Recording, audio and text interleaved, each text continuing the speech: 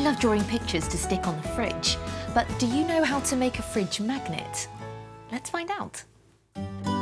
Fridge magnet! Fold a piece of card in half. Draw a capital B shape and cut it out.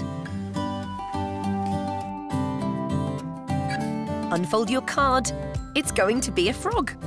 Stick or draw on some eyes, a mouth, and some feet.